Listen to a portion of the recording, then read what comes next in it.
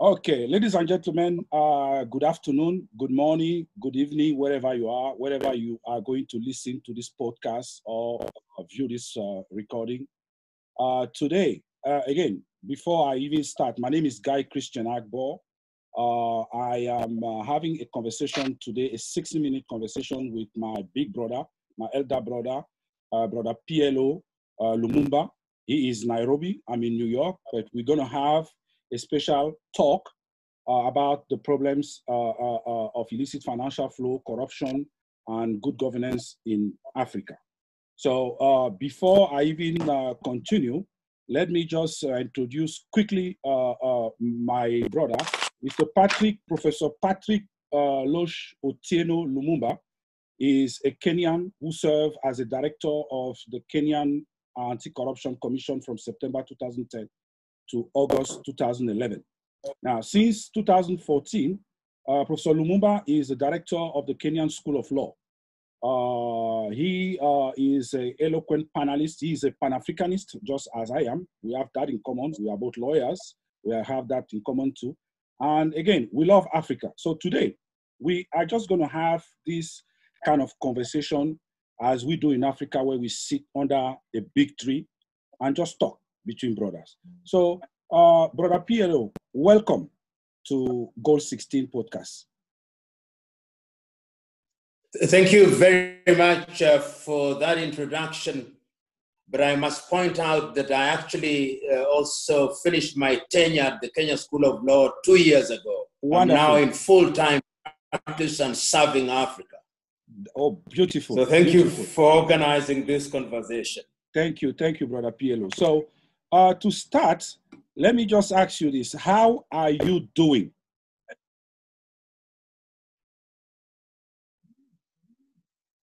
Uh, well, um, I would say that I am doing reasonably well. Of course, in this period of corona, doing well is a word that is used very cautiously because we don't enjoy the freedom of movement that we are accustomed to. I can't move out of Nairobi, for example. I'm marooned here by dint of a government directive in order to contain corona.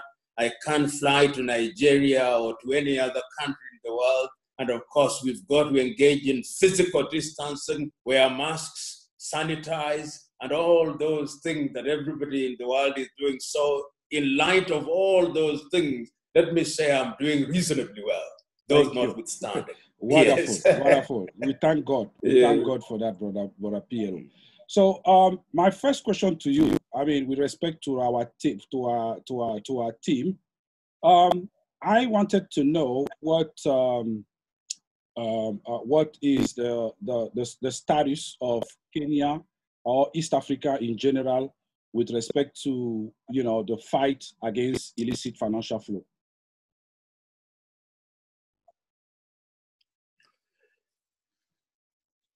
Kenya, like many African countries, long recognized uh, that illicit financial flows is something that harms the economy and undermines democracy.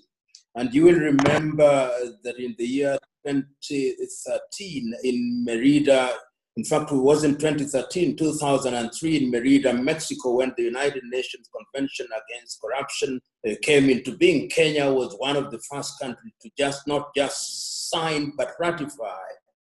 And the African Convention for Preventing and Combating Corruption, Kenya also was a leader in that regard in terms of putting together the East African uh, protocol against corruption. Kenya was also in the forefront and into Kenya adopted POCAMLA. I think that is the, the shorthand uh, word that we use for the international instrument that deals with uh, financial flows. So that if you look at the architecture of the institution that we have to fight that, Kenya does have uh, the Ethics and Anti-Corruption Commission, whose mandate includes dealing with illicit financial flows, and in addition to that, under the aegis of the Central Bank of Kenya, we do also have specialized bodies whose agenda is to monitor individual personal accounts, individual accounts rather, And it is the law in Kenya today that when one receives an amount which is 1 million Kenya shillings or above, then that must be reported to the specialized agency. And 1 million Kenya shillings is 10,000 United States dollars. And, and that, I think, in itself is indicative of the kind of premium that the Kenyan government has put in place in order to ensure that illicit financial flows are dealt with. Okay. Uh, thank you very much for that answer. Uh, now, um, uh, uh Brother PLO, um, you have been sometime compared to Mr. Bannon, Steve Bannon. I don't know if you know who Mr. Stephen Ban- uh, Steve Bannon is, but yes. he's uh, yeah. So you've been compared to him because uh, some have heard you say that uh, Africa must be first, and uh, or that uh, you know we should make Africa great again. Why did you say that? I say that deliberately because when you look at the potential of Africa and her current state, it, it saddens one. You look at the environment in many countries, and if you choose any country, and the country that I love choosing is the Democratic Republic of Congo, mm-hmm. this is perhaps the richest resource country in the world with anything between 34 to 40 trillion of resources under her belly, and yet it is notoriously known as the one of the poorest nations on earth. You look at a country such as Niger or many other countries, one can go on and on. And you discover that the uh, so let's um, let's talk about uh, yeah. uh, uh the status of human rights within the context of, uh, of, of Africa. Where, where, where do you think our current government, all across Africa, where do you think we stand? Do we, lo- I mean, do we respect human rights as we're supposed to? Or, you know, what what is your own opinion on that?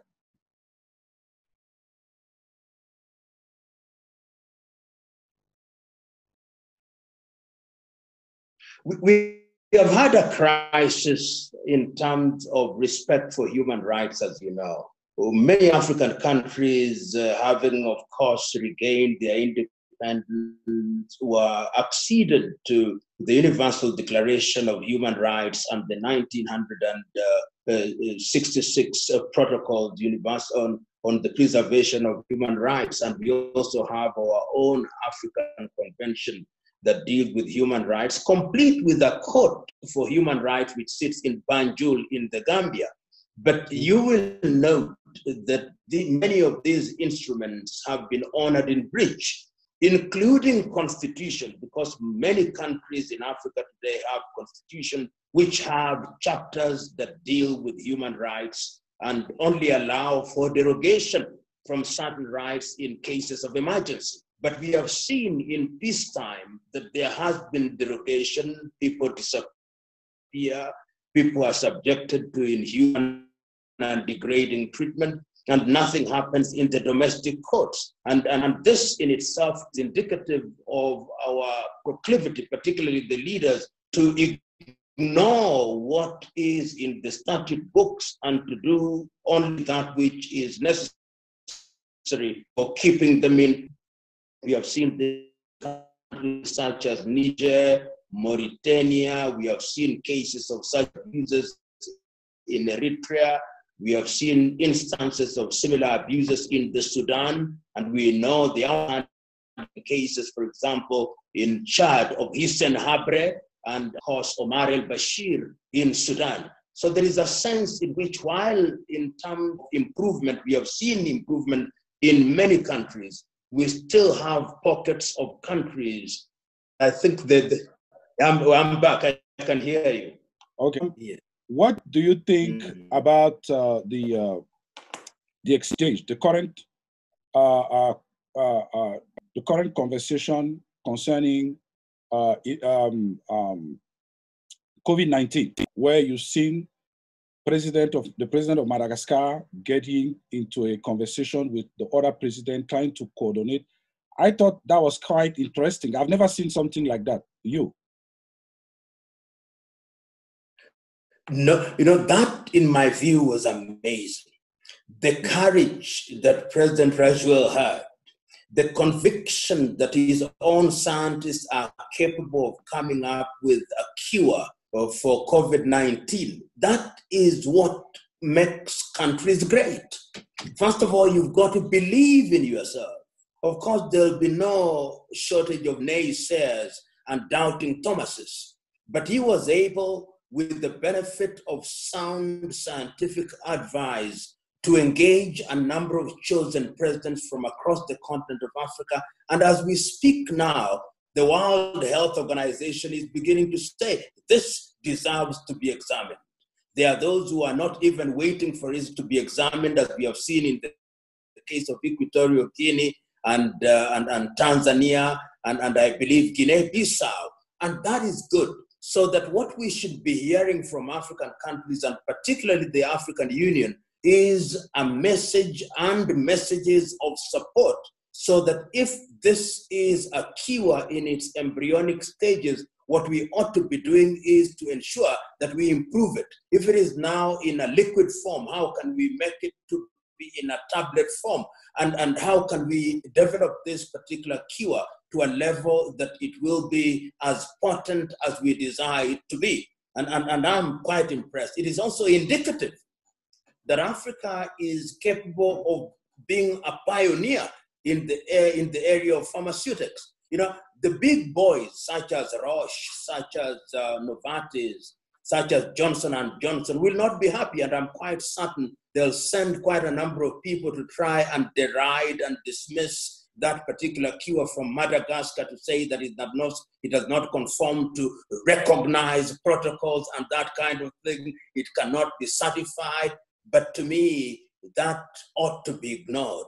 It is the duty of Africa to now support Madagascar and our research scientists in various universities and our five CDCs mm-hmm. across the world ought to be in the forefront of supporting what has taken place. There is always room for improvement. We who are not scientists, our duty is to raise our voices to commend that research funds ought to be put together and to be deployed to help the people of Madagascar and the scientists to improve that particular uh, uh, product.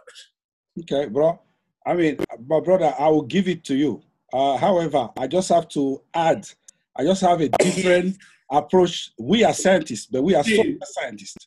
You know, with yes. different to them who are, you know, different kind of scientists. But we are also, both of us and others are social scientists as well.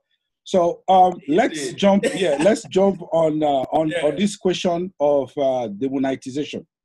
I, I, I want to know what was the demonetization all about in Kenya. Could you could you help me to understand that, please? Let, let me use the example of India in order to compare with Kenya so that we can see that although we were demonetizing, it was from different approaches. When President Modi chose to demonetize, he talked about what they described as black money in India. Right. There was a lot of money that people are keeping out of the main banking system. Mm-hmm. The net effect is that it was undermining Uh, the value of the Indian rupee. And right. this, this money was therefore available to individuals who would use it outside of the mainstream economy to the detriment of the Indian economy. Yeah. There is a sense in which that is to be contradistinguished from the Kenyan environment. When the Constitution of Kenya 2010 came into force, one of the clauses that was in the constitution is that the Kenyan currency should not bear the portrait of any living person, indeed of any human being. It should uh, bear the images of animals and other national features. It was delayed that because from the year 2010 through to the year 2019, almost a period of nine years, nothing was done about it. But there was also the silent, uh, there were also silent voices which were saying that many Kenyans had kept money in their houses or they were using forex bureaus or such other institutions for purposes of keeping money outside of the main banking system. And therefore, the government, in its wisdom, chose number one to implement the constitutional requirement, but also it used it as a way of mopping up this money so that those who are keeping money in their houses were told, you bring it back to us, but tell us where you got it from. Sure. And in the recent statistics that we have seen, it is something possibly in the billion of, in the in, in, in the tune of over 6 billion, my, my statistic may not be right, but in the billion of monies that were deemed to be in circulation. But when there was a demonetization, it never came back into the mainstream, indicative of the fact you know, there was a lot of money, illicit money, which was being hoarded, if you may, by individuals and possibly institutions. As to whether it has helped the economy, that is a different debate.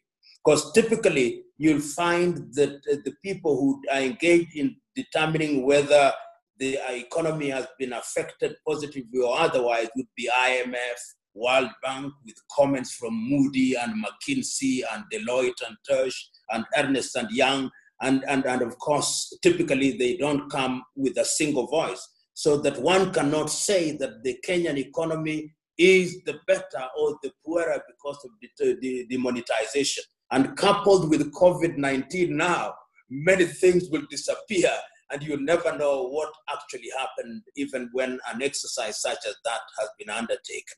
Right. Thank you. Um, let me ask you this uh, concerning our relationship as a continent with uh, other uh, uh big uh, big countries like uh, China, like the, the, the US, like France, UK, and Canada. Now, with we have this situation of COVID 19 going on where Africa, which is uh, uh, poorly performing economically because we don't have the funds to develop what we need to do, um, we owe a lot of money to these uh, to these big countries. Do you think it's a good policy for China, for example? Because I believe I don't know the numbers exactly, but we owe more money to China than we owe to any other country. Um, the way China has treated uh, some Africans uh, uh, in their country, in, in Guangzhou and so forth, do you think it's good policy for them to seize this opportunity and Uh, uh, uh, reduce or completely erase African debt? Let me answer that question with some kind of background. Right. You know, many times African countries, when dealing with China, want to emphasize their sovereignty. Right. We are Burundi, we are Chad, we are Eritrea, we are all these. But the recent events in the world have demonstrated, even to those who do not think and see clearly, that many of these countries, when they deal with Africa, they simply see one continent. Right. That is why when Putin summons, he summons African leaders to Sochi and mm-hmm. deals with them as if they were one. Mm-hmm. When Angela Merkel is dealing with Africa, she summons African leaders to Berlin. When President Xi is dealing with African leaders, he summons them to Africa, to, to, to Beijing as one. When mm-hmm. Prime Minister of Japan is dealing with them, he summons them to Tokyo as right. if Africa was a single country. That in itself should tell African countries that your strength lies in this unity. Because what China does is that under the glare of the press, it deals with you as if you are a single unit, but right. they go to the individual countries and dangle carrots. They go to Nigeria, dangle a carrot. They go to Ghana, dangle a carrot. And these carrots are in the form of infrastructural development. Mm-hmm. And a good example that I can give is in the area of railways. And they have been very good at building railways across Africa. A few years ago, during the administration of President Jakaya Mrisho Kikwete in Tanzania, they had signed a deal to do the port of Mtwara and Bagamoyo. When the administration of President John Joseph Magufuli came into power, they looked at that particular agreement and they said, This is unfair. And they simply threw it away and started negotiating with the Turks and using their own resources, which tells you that quite a number of these contracts that are being negotiated by uh, the Chinese to build infrastructure, whether it's roads or bridges or stadia or in the mining sector, if you go beyond infrastructure, they are skewed in favor of China. Mm-hmm. And we have seen the experience of China with Sri Lanka, how they uh, lent money to Sri Lanka and they now are moving into the port to control it. So going forward, it is incumbent upon Africa to Im- ensure that the relationship between Africa, because trade is universal, even when we are talking about uh, being independent, we'll be independent so that when we trade, we trade from a position of strength.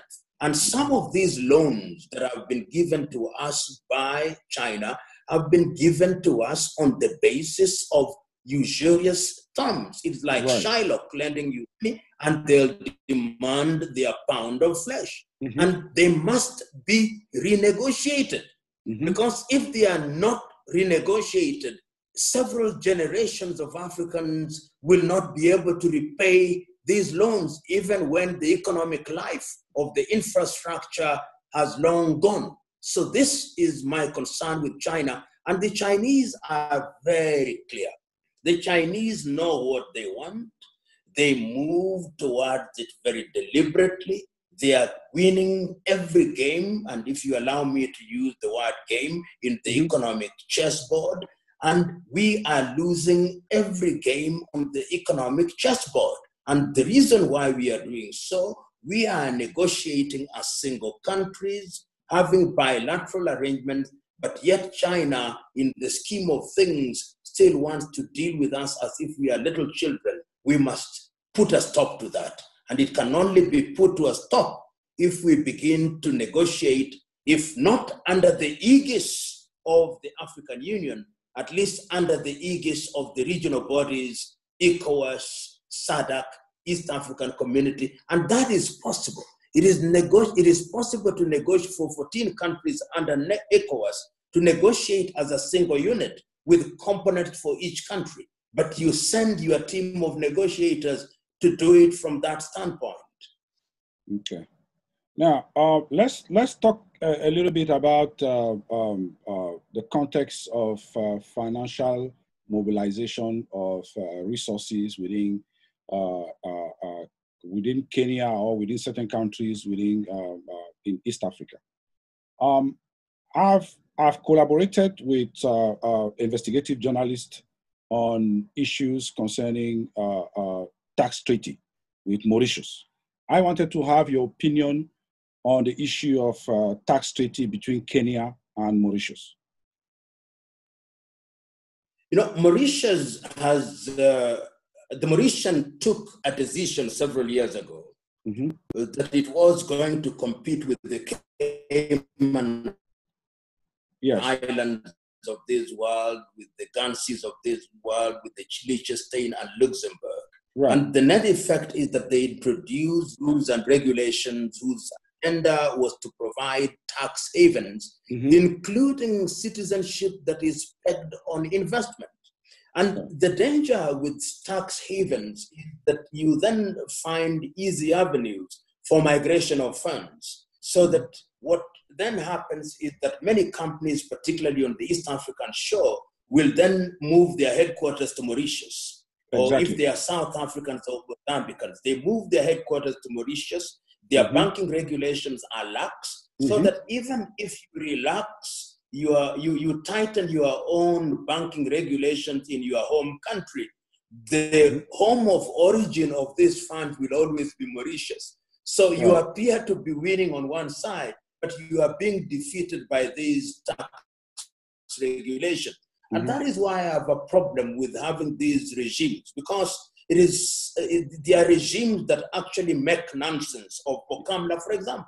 If yes. I wanted to establish a company now I would headquarter the company in Mauritius. Exactly. Once I've headquartered the company in Mauritius and the funds are coming Mauritius into the Kenyan government, then I'll have a legitimate explanation for the source of that money, and you can't question it because that is a sovereign country whose rules and regulations uh, guiding movement of funds cannot be questioned in a Kenyan jurisdiction. So mm-hmm. it is significant, therefore, because Madagascar is within the SADC movement. how do we ensure that within the SADC movement we are able to control and to harmonize our rules and regulation so that you don't have Mauritius doing its thing and Seychelles doing its thing, and meanwhile Botswana and South Africa are doing their own thing, and Lesotho is doing its own thing, uh, which are all undermined by the lax and accommodative uh, Mauritian rules and regulation. But the real world doesn't think the way we are thinking. The right. real world is also very pretentious. The real world will tell you we don't want this, but those who control the world still need Mauritius, they mm-hmm. still need Macau, they still need Singapore, they mm-hmm. still need Guernsey, they still need these little countries where you can hide your money. Switzerland, of course, played that role for a very long time. And, and, mm-hmm. and now it's beginning to have competition in Asia and in Africa because some countries have discovered that that is the only way. For example, Mauritius, when sugar was no longer the thing that you want to deal with, mm-hmm. you now create retirement homes and you become a financial hub with, mm-hmm. with, with the loose rules and regulations, the Las Vegas of money. Right, right. So, uh, uh, just following uh, within that same uh, that same line, uh, do you think it's time for Africa to define its own international taxation? You know, let I'm, I'm going to answer this question uh, with some caution. Right. And uh, I warn myself that when we talk about Africa, we are not talking about a single unit. Right. You know, as much as you and me would love it.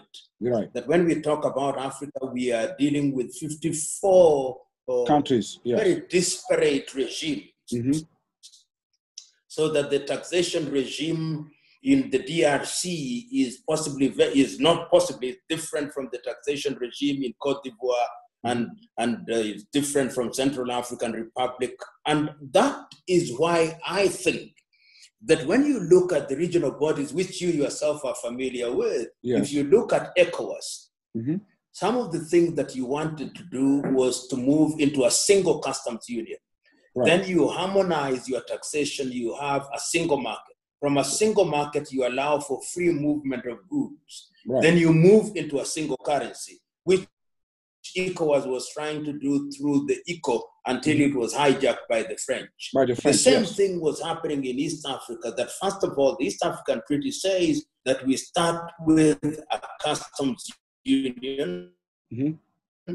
We move, we move into a single market and ultimately a political federation and have a single monetary union. Because when you do that, it means that you have brought all the country's economy to a certain level where mm-hmm. the shilling in Kenya is the same in value as the shilling in Tanzania. The right. same with the eco. Right. That the eco in Nigeria is the same as the eco in the Gambia. And that if you go down south and you are the, pula the pula that I have in Angola. But as long, as we don't have that, then you have problems. And that is why I think the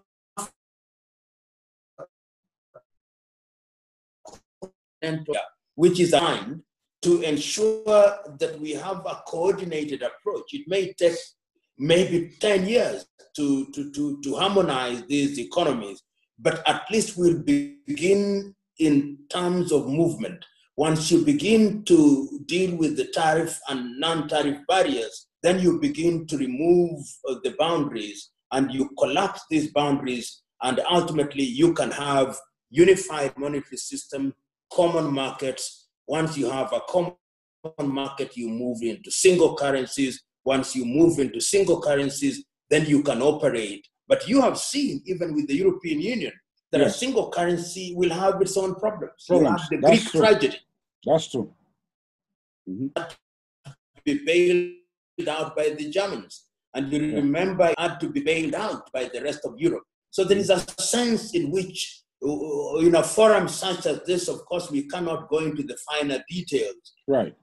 But we can have a broad brush treatment of it in a manner that can be consumed by people who are not technicians. That's true. But it's desirable and it's necessary. It is only then that we are capable of running real economies. And I want to conclude by saying this. Right mm. now, oil is dollar denominated. Right. So that when Nigeria produces oil, it is the dollars, the dollar that will determine what Nigeria actually wants. Suppose ultimately we move out of the dollar environment and go into the gold environment, or if you have an African currency into the Afro environment, it will be a totally different kettle of fish, and Africa would be the richer for it. Mm-hmm. Mm-hmm. Okay, so since we are within, uh, we still within the taxation uh, issues, I wanted to ask you about a phenomenon that I've seen a lot of time on social media, where we have all these uh, pastors, uh, pastors in um, in Africa, whether you are in Ghana, whether you are in Zambia, you know, from all over Africa, ex, uh, you know, exposing their wealth from, you know, uh, uh, I, I, don't know about you, but I get so so um, you know so frustrated with it, and I'm wondering if you think various African governments should be taxing these individuals? You know, if, if, even if you look at the Bible in Paul's second letter to Timothy at chapter 3, he's saying that there will be times such as these where there'll emerge men who will be peddling kinds of truths and they'll be lovers of themselves. And today, across Africa, you find them. You come to Kenya, look at the number of denominations. You go to Nigeria or to Ghana. I remember when I was in Nigeria driving from Abeokuta through into in the Ogun State, coming Ogun State. to yeah. Lagos. Mm-hmm. Yeah. And the number of churches, and I've seen this in, in, in Nairobi, Kenya, in Zimbabwe, in every country. For every one industry, perhaps you have 20 churches where husband and wife are prophets and prophetesses. Yes. And in one day, they have all manner of service. So that what you will permit me to call the Jesus industry. Yes. Is the biggest industry in Africa. Yes. And there are many men and women who I do not, you know, when you are talking about matters religion, sometimes mm-hmm. uh, you, you don't want to, to annoy them because they may have a true calling. from That's the true. evidence that I have, That's true. from the evidence that I have, many of them Many of them have not been called by God, they have called themselves. Yes, that's and, true. And, and because they have called themselves, they are serving themselves. And they are manipulating and abusing the word of God for personal glorification and for material aggrandizement. And that is why recently, I think as recently as last year, President Paul Kagame of uh, Rwanda said, nobody is going to be allowed to run a church if you don't have a degree mm-hmm.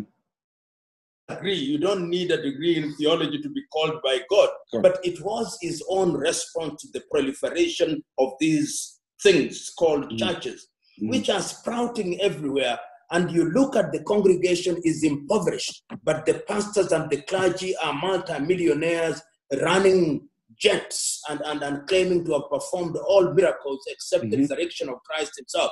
This, yeah. this to me is something that ought to, to be dealt with. And, and, yes. and it, it requires education, yeah. even on the part of, of, of, of the population. Now I understand why Karl Marx said that religion is the opium for the poor.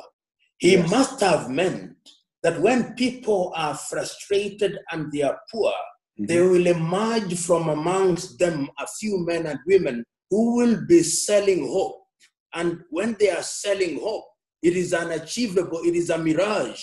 Mm-hmm. And they simply make their lives and their heavens here on earth as you are waiting to go to heaven. And I think mm-hmm. right now that such institutions should be subjected to a contribution to the national coffers because they are earning money. And if they contributed to the national coffers by way of taxation, even if it is at a lower percentage than everybody else, it could go into social programs. We now have COVID 19. Mm-hmm. And across Africa, I'm not seeing the multi millionaire religious leaders contributing to the national effort. Mm-hmm. It is the businessmen who are contributing to the national effort.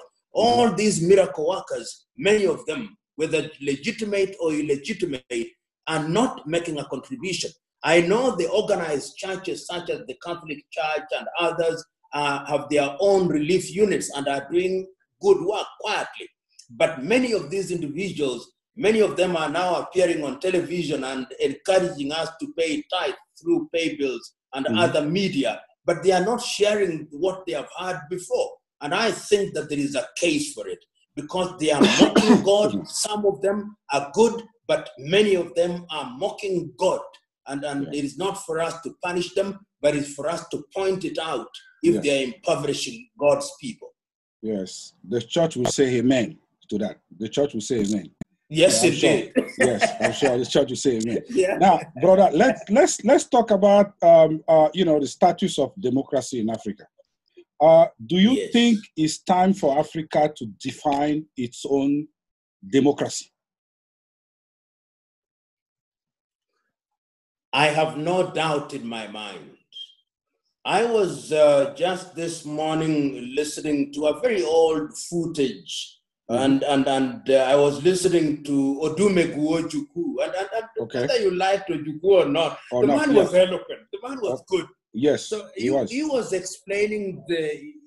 That is after actually after the, the civil war, just when he had mm-hmm. come back. It was two years to his death, and he was saying Mm-hmm. That part of the problem that we had and we had in Nigeria was talk about the Nigerian case. Mm-hmm. And he was saying that part of the problem that we had was the architecture of what we inherited from the British. Mm-hmm. Because that particular structure and architecture was designed to fail and was in was conflictual. And after I listened to Odumegwu Ojukwu, I mm-hmm. listened to Jerry Rawlings. And Jerry exactly. Rawlings was explaining why in 1979 he had to seize power. And after that, I listened to Kenneth David Kaunda, who himself was never overthrown, but was defeated at a first multi party election and conceded power. And what emerged out of it? That essentially, we must have a different governance system. Yes. And the explanation by Ojukwu was, in my view, quite telling. He said, giving the Nigerian history, mm-hmm. that when during independence Nigeria had three regions, mm-hmm. it is ethnicity that was the dividing factor. So that in the north, it was Ahmadu Bello who mm-hmm. was governing from there. Then he sent Tafawa Balewa to the central government. In the West, although Nnamdi Azikiwe won the election, it was not accepted, and Akintola ended, ended up being there with, mm-hmm. with the Awolowo on that side. On side, it was also Nnamdi Azikiwe, so that the ethnicity, and, and, and Kenya is one such country where ethnicity defines politics. It is now creeping into Malawi, it is creeping into Zambia, and many African countries. What does that say? To answer your question. Must we define democracy to mean multi party politics? Must we define ourselves? When I hear us, particularly those of us who have the advantage of Western education, we are the ones who use this terminology that he is right wing, he is left wing, left wing, he is left of center, right of center, whatever. What are those? Africans simply need a government where the people can participate in their governance, and that particular system must incorporate certain realities. You have traditional chieftaincies. Can they be accommodated within that kind of infrastructure, that kind of political infrastructure? I think they can be. So it is, is the time when we must imagine. We must engage in disruptive thinking and begin to imagine differently. Nana Kobina Nketsia, who is himself a, a professor of political science at the University of Cape Coast and a traditional ruler in Ghana, has written a book about the need for Africans to have their own paradigm of governance, which is democratic, allows for participation, but is not Eurocentric or Americocentric. It mm-hmm. can be done, mm-hmm. and it can be achieved. Mm-hmm. mm-hmm. Perfect, perfect. Now let's, uh, uh, if you don't mind, let's talk about um, um, the situation in um, uh, the situation about, I mean, uh, the Agenda 2063. Do you Mm. do you think African country uh, will be able to to to to to make it happen? Let me answer that question by giving the background, which you'll be familiar with. You remember Right. that the UN, uh, I think in 2000, uh, came out with uh, the- the Millennium Development Goals, Millennium the Development Goals, 17 yes. Millennium Yes. Development Goals, Right, which were supposed to be achieved by the year 2015. right, And of course, after the lapse of the 2015, it is only, I think, it is only Rwanda and possibly Mauritius and possibly Namibia and possibly Botswana who were able, on the basis of the measurement that was given by the UN, uh, capable of, of, did meet the Millennium Development right. Goals. We then had imposed on us the 17 Sustainable Development Goals. Mhm. And nobody can quarrel with those 17 sustainable development goals Yes. because they address critical areas of our lives. In the same way that we cannot quarrel with Africa Agenda 2063, which Mhm. is founded on seven pillars. Mhm. And those pillars address issues that you once again cannot quarrel with if you are honest. Mhm. They are talking about the things that are critical. We are talking about education. We are talking about culture. We are talking about health. We are talking about the environment. We are talking about natural resources. We are talking about human rights. We are talking about uh, research and development, fourth industrial revolution, robotics, Internet of Things, and all those things. Nobody can quarrel about with them. And my own view, therefore, is that a united Africa, and when we are using the word united, we are not being naive. Mhm. We are simply meaning an Africa that is capable of identifying her priorities and having an implementation timetable which is time bound and capable of engaging in those areas which will help her move in that direction. Because Africa has been a laboratory of experiments. Mhm. You remember the Lomé Convention of 1975, signed between Africa and the Caribbean and Europe. Lomé Convention came, nothing changed. Mhm. You remember the Cotonou Convention, which was the immediate success of the Lomé Convention. We Yeah. assumed once again that Europe will develop us. You remember Africa Growth Opportunity Act in AGOA, which AGOA, yeah. killed our textile industries. The Yeah. textile industries that are independent you had in Kaduna no longer exist. If No, you go yeah. to the textile industry that existed in Kenya or in Lesotho, dead because Mhm. of AGOA. We are now making cotton to be consumed by American high stores and nothing for Africa. Instead, what we do is to, to, to import second-hand clothing Clothes, from clothing, Europe. yeah, yeah. And. Yeah. And so that in my view, if you look at all those things, you and, and Africa Agenda 2063 is actually a rehash of the Lagos Plan of Action. Mhm. If you look at the 1980 Lagos Plan of Action, it Mm-hmm. saying exactly the same thing that Agenda 2063 is saying. Mhm. But the beauty now is that we are moving towards operationalization. The Mhm. appointment of a Secretary General of AfCFTA is a good thing because, number one, the Secretariat is now going to begin to move into the direction of implementation. And a number of things have also happened in the recent past. You remember the opening of the African skies for Right. aviation. For aviation, There was yes. initially the Yamoussoukro. Initially, it was Yamoussoukro agreement in Cote Mhm. d'Ivoire. After Yamoussoukro, Yamoussoukro did not achieve much. We now Mhm. have the Kigali uh, protocol on that. Yes. Kigali has also gone further. Kigali has also told us that we need a single passport to allow for free movement of persons. Mhm. And we are saying that if we begin to trade within Africa, then Mhm. Africa is going to ensure that most of the wealth is retained within Africa, Mhm. that there is value addition. I know you imagine as much as I imagine. Mm-hmm. Look at the area of mobile telephony. Telephones, yeah. yeah, just the, the entire is a multi-billion industry. If That's you right. look at ATT, which is American, you look at Vodafone, which is English, you look mm-hmm. at Orange, which is French, you look at Tigo, their mm-hmm. combined revenue is bigger than the economies of all African countries combined. Wow. And yet we are not participants in that regard. In that regard, the yes. ingredient that, that we use in our mobile phones, rare earth or coltan, it is the Democratic Republic of Congo, Of Congo. who produces. We Yeah. don't produce a single mobile phone. Yet today, 90% of Africans own a mobile phone. Suppose we were to produce it, Mhm. Laptop or iPad or any of these things. It tells you that it can be achieved. Today, under COVID, we are importing masks. And Mhm. the masks that are accepted by the World Health Organization are masks which re- receive European standardization.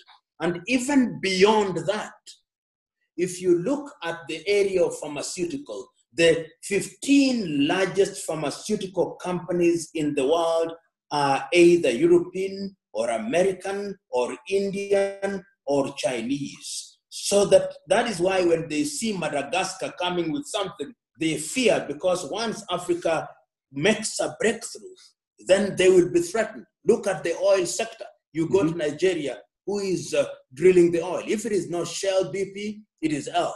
If it is not ELF, it is Total. If it is not Total, it's Mobil Exxon. If it is not Mobil Exxon, it is uh, Start Oil of Norway. There is no African company that is among the big boys of the big girls. And Agenda 2063 is telling us we've got to join. If you want to win a lottery, you must buy the ticket. And we have been praying and fasting to be a fast world. No amount of prayer and fasting. We just must roll up our sleeves and begin to do things. The things that require effort can only be achieved through effort. Now let's uh, let's talk let's talk a little bit about uh, uh, the our strong institutions within the context of Goal 16. Uh, now, um, I have some some some reservation some some reservations with respect to uh, to what is going on in Cote d'Ivoire right now Yes. with uh, the AFDB. Um, what what is your sense of what's going on with uh, the management of Mr. Adesina? I know he may be a good person, uh, personally, but uh, in terms of management style, the complication with uh, all the complaints, I understand that recently he was exonerated by uh, the ethic committee, but there were some issues there with respect to the pressure that the person conducting this um, this ethics uh, investigation were pressure. I mean, was pressure by by by Mr. Adesina lawyer. I mean, I don't understand why uh, the the the the the the, the, uh, Mr. Adesina couldn't hire more Africans uh, who are professional, whether they are abroad in you know in the US, in UK. There are so many professionals like you to run the ethics committee. You know, to make it. I mean, why do we have to hire um, people who are not from Africa? Even though I understand that some of them are uh, non-African members, right? But I don't think. I mean, you can you can have such a, I mean, such a situation in Europe. You know, what what are your thoughts? You know, Akinwumi Adesina, whom you know by reputation, just as I do as a former cabinet minister in the federal government, is an intelligent person, Right. no doubt. Yes. Good intentions, understands his area very well. I, I, I wish him was say the right things. In the recent past, of course, I've heard him say some very useful things. But let us ask ourselves who funds the African Development Bank? Yes. The African Development Bank is fundamentally an appendage of the IMF and, and, and the, uh, the Bretton Woods institution. And I'm told in the last one week, Ireland has also become a member of the AfDB, Yes. the Exactly. Republic of Ireland. Mhm. So when, when you are running an organization where uh, those who give the real money are outsiders, your room for maneuver is circumscribed. And I want to believe that uh, Akinwumi Adesina finds himself in such a situation so that even if he wanted to hire you or me or any other person, he doesn't have the complete authority to hire people purely on merit. There are Mhm. other geopolitical considerations which, which are taken into account. I'm, I'm quite certain that the International Monetary Fund will want to know who is hired. Mm-hmm. And you know, this is a big boy, is a, a, a, club of, of old boys. Yeah. And, and, and, and to penetrate that club is not mm-hmm. very easy. To me, if we want, and, and sometimes it is very easy to, to say this from, from the armchair, such as I am, which is sometimes useful because I'm capable of, uh, you and me are capable of this kind of disruptive thinking, mm-hmm. that perhaps the funding model of the AfDB must be rethought. And I mm-hmm. was actually engaged in a conversation with a friend of mine on Friday. Okay. And I said, is it possible that if African countries were to say that 5% of our budget, not our GDP, mm-hmm. 5% of our annual budgets of the 54 African countries will be used to recapitalize AfDB. Mm-hmm. And if that were done consistently, I have no doubt in my mind that you would have 90% of the AfDB being funded from the within the continent. And the AfDB could, there are different funding models. We could even introduce taxes on mining, which would then go into the Africa Development Fund. And there is no shortage of good economists within and without the continent of Africa, but of African origin, who could create models which you could then ensure that AfDB is properly funded and therefore we are capable of running an organization, which organization is truly African. But as long as you have the IMF and the World Bank and the European Union funding the African Development Bank, even if you put the angel Gabriel himself to run the AfDB, heavenly dance, but in matters of the AfDB, you've got to listen to us or we withdraw our funding. Yeah. So Akinwumi must find himself in such an unenviable position. Yeah. Okay. Now let's stay within Cote d'Ivoire. You uh, you probably heard, like I did, that um, uh, uh, the former prime minister was convicted of uh, some uh, corruption or something. But more importantly, that Cote d'Ivoire withdrew from the African Court of Human Rights. What are your thoughts on on I didn't get that yeah, of the question. Yeah, no, the I mean, you heard like I did, like everybody else on the news, that the former prime minister and he was former um, president of National Assembly, uh, Mr. Soro, Soro Guillaume. He at one point had uh, uh, conducted was heading the, Soros. The, yes, Soro. The, he was he was heading the the the rebellion. Guillaume Soro. Guillaume Soro, exactly, exactly, Guillaume Soro. But the, the more, more, more importantly for me was the fact that Cote d'Ivoire, I mean, uh, withdrew from the African uh, Human Rights Court. I was, I wanted to have your opinion. Yes. Uh, uh, Soros was uh, was you are saying something about Guillaume Soros. Yes, yes. I was asking you if you think it is fair or normal for Cote d'Ivoire to withdraw from the African uh, Court of Human Rights because, as you know, uh, his lawyers, Soros' lawyers, were you know have complained, have sent a comp- I mean have uh, filed a complaint against the Republic of Cote d'Ivoire uh, with respect to his remand right violation based on the African uh, uh, Convention against human rights vi- violation. And when the decision came from Cote d'Ivoire, from the African Court, Cote d'Ivoire decided to withdraw. And I wanted to have your comment or your thought on that specific withdrawal. Look, it's, it's very, you and me know the, the history of uh, George Soros and, and yes, the exactly. struggles with what and, and, and uh, the accusation, of course, that he was secessionist at that time. Right. My own view is that it is most unfortunate that African countries enter into this continental agreement. And they hold the view that those institutions must decide, must make decisions which are to their liking.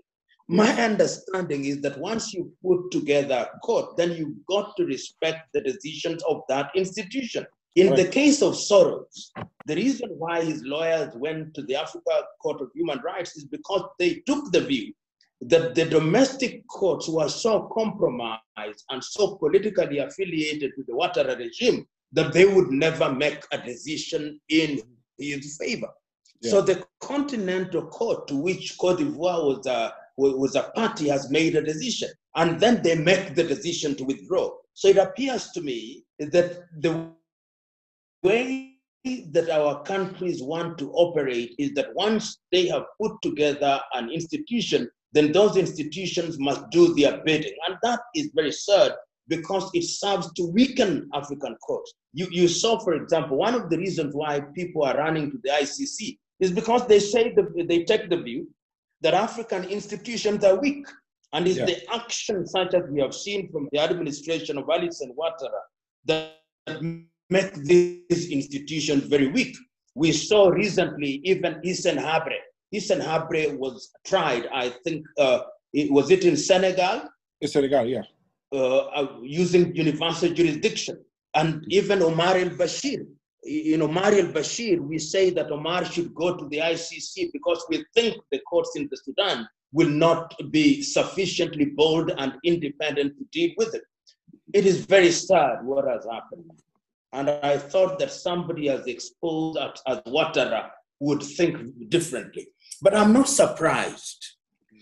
I'm not surprised because Ouattara in the recent past has also demonstrated his, his proclivity to being manipulated by the French. You mm-hmm. saw what he did by undermining the ECO, and he yep. was easily persuaded by President Macron of France, and they launched something called an ECO, which was right. very different from the one that was contemplated by ECOWAS. Yeah. So this kind of behavior is very consistent with leaders who are essentially still comprador bourgeoisie mm-hmm. working at the behest of um, their former colonial masters. Very sad indeed.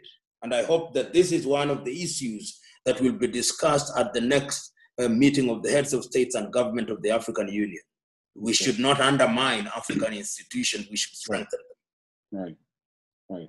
Now, let me ask you this. Uh, uh, you know, uh, what are your final thoughts? What may be your final thought with respect to what the African diaspora? You know, we have a huge African diaspora here in the U.S. Uh, whether they are from Kenya, um, Nigeria, Cameroon, um, from uh, uh, Ethiopia. What what what are what, what can they do to help these Africans, these African institutions? You know, become very, very, very, very sufficient on themselves and very solid, you know, to help Africa grow and get to where Africa needs to be. You know, one of the things that I've realized, particularly in the last two months, not that I did not know about it, yeah. that the most organized Africans, the Africans who feel the pain for Africa publicly mm-hmm. are her sons and daughters in the diaspora. Yes.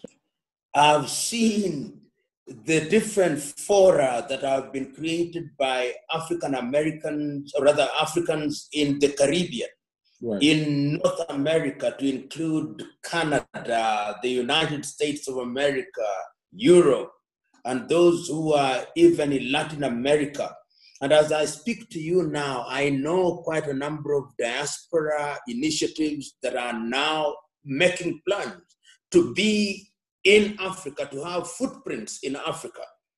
Because if you you may know these better than I than I do, but I think that there are millions of Africans in the diaspora. Mm-hmm. And they are to be found in every sector. If you want doctors, they are there. If you want engineers, they are there. If you want lawyers, they are there. If you want economists, they are there. If you want business people, they are there. If you want astrophysicists, they are there. If you want nurses, they are there. There is not a single sector in which you don't find some of our best men and women outside of the continent. One of the things that ought to be done, which I knew was being done, is that the diasporans should be given formal recognition by the African Union and by the regional bodies.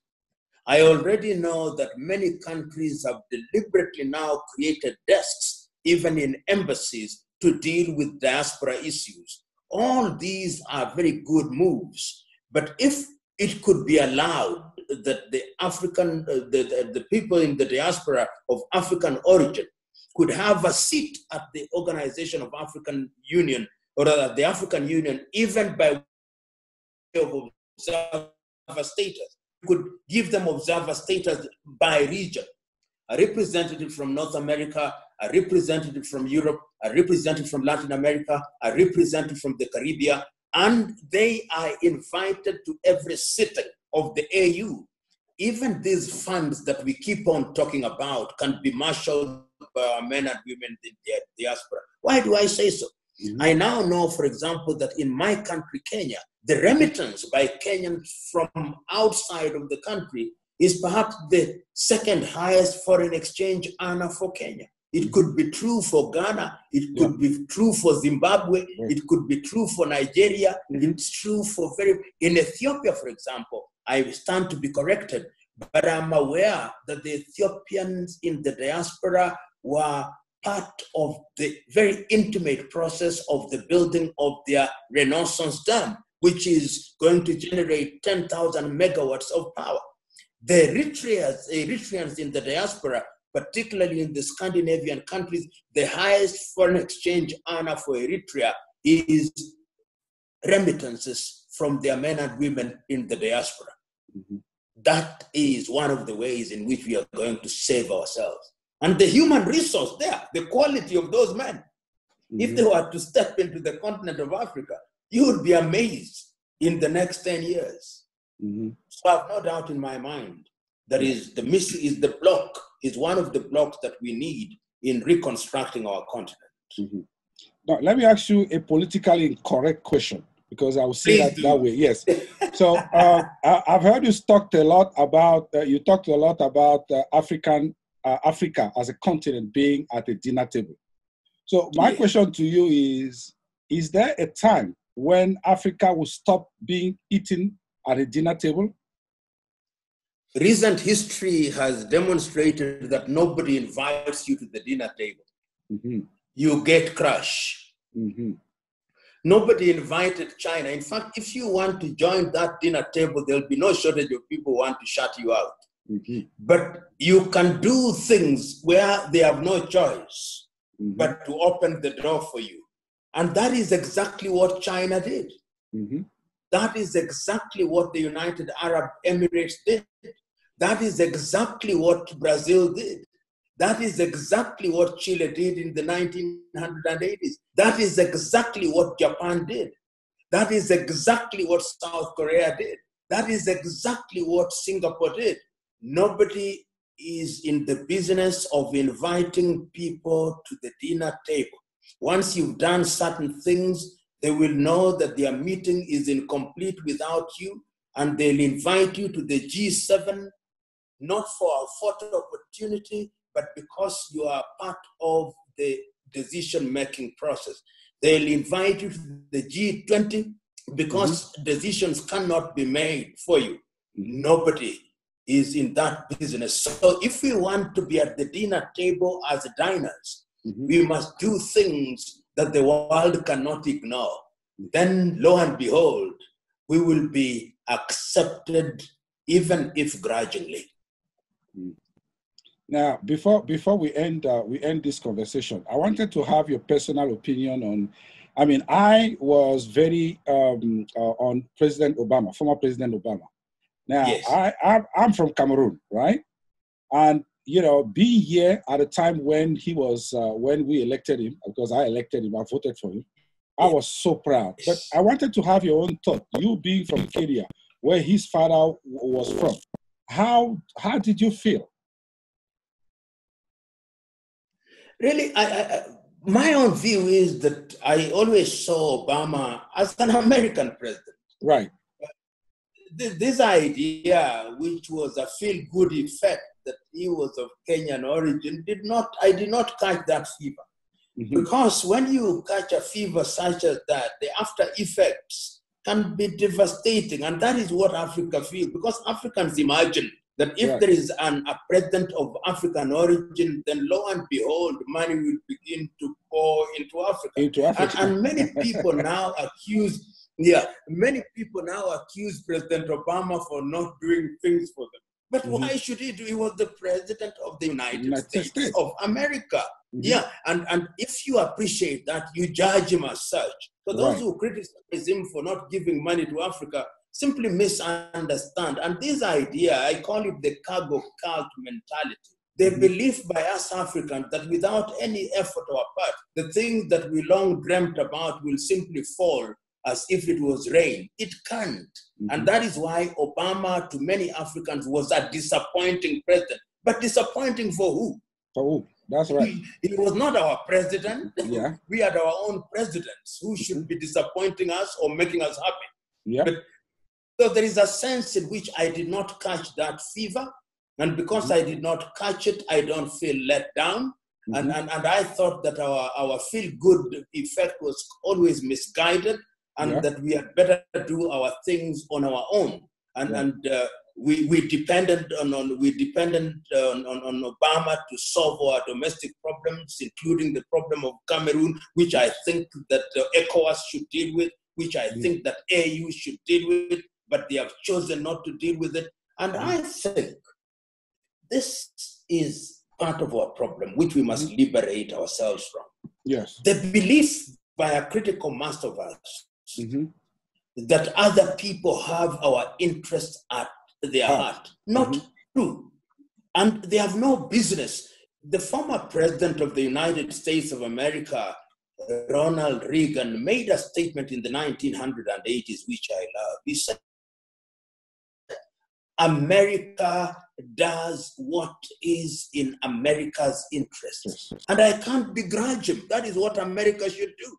When I hear President Trump saying America first, yes, it should be America first. Why should it be Kenya first? When President Xi is doing anything, it is China first. first. And even if you want to be spiritual about it, even the Bible, Christ Himself says, Love others as you love yourself. yourself. The very Yeah. first love that you must have Mhm. is yourself. Then the love overflows to cover the others. But Mhm. in our case, many times we don't love ourselves. See the number, the amount of wigs that we import from other parties in order for our women to wear that we may say that they look good. Yeah. Look at the bleaching creams I know. that our women have to have so that we may say they are good. Yeah, I know. We must love ourselves first mm-hmm. before others love us.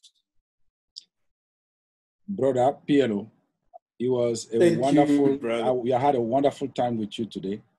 It was a wonderful conversation. It was a fascinating conversation. I learned a lot. And I hope we, and I know we're going to have many other discussions where we'll hopefully, at the end of this COVID 19, we'll be able to meet again and talk, you know, about things that we do to further, you know, the progress and uh, the goals of uh, Africa as Pan Africanist. Brother, I love you and I believe in you. And I Thank trust you. I trust you, you. that you will stay well and your family will be well too. So, um, goodbye and God bless you and God bless your family. Um, Thank you very much. Yes. Yes, Yeah. definitely, Thank you. definitely, definitely, definitely, my brother. Definitely.